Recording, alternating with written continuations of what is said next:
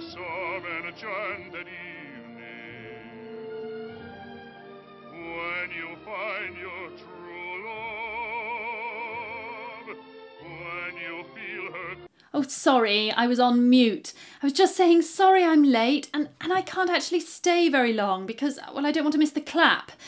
I watched Peter Pan on the National Theatre's streaming thingy and well, I got this idea in my head that for every person that doesn't clap, somewhere an NHS nurse just drops down dead.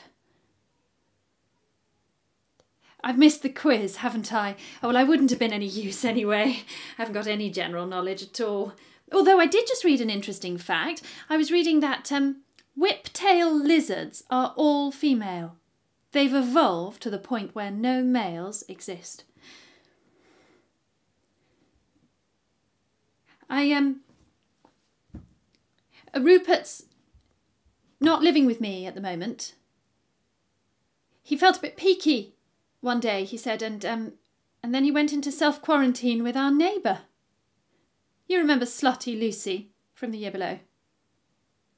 I thought it was ridiculous at first, and um, then I began to think that maybe it was really rather sweet, that he was trying to keep me safe.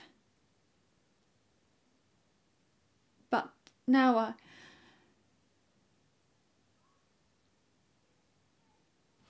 Well, now I think I've probably just been taken for a ride.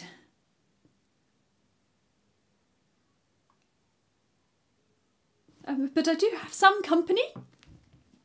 Crocheted myself a little lion. for courage.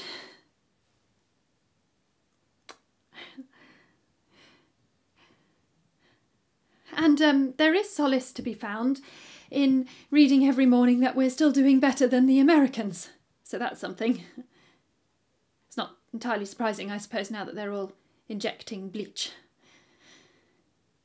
Oh God, it's nearly eight o'clock. I'm so sorry. I'm going to have to go.